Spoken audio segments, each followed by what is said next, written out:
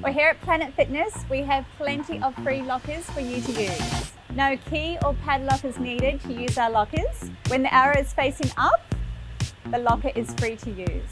Open up the locker, pop your things inside and close the door.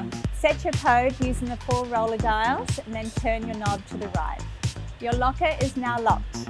Don't forget to scramble your dials before you leave so your code is not visible to anyone. To unlock, simply input your code using the roller dials and turn the knob to the left and then you can open. And if you forget your code, see a staff member at front desk for assistance.